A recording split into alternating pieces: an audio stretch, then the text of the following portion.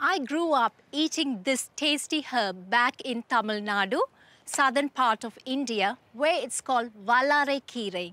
When I was little, I used to struggle a lot with times tables, and my aunt used to feed lots of this. And every time she made it, she used to talk about how it's going to help me remember my times tables. Going to introduce you to a very interesting herb that has been used as traditional medicine called Asian pennywort or gotu-kola.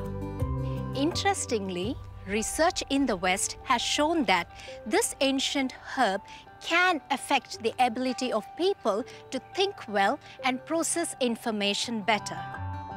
This plant also inhibits a group of enzymes that can break down collagen while simultaneously increasing the rate that collagen is synthesized, meaning it increases wound healing rate and is the reason why it's used as a skin tightening agent. Oh, by the way, it tastes damn good in stir fries, salads and smoothies. You can buy Pennywort Gotu-Kola from leading garden centers and always look out for quality Swan Valley nursery herbs.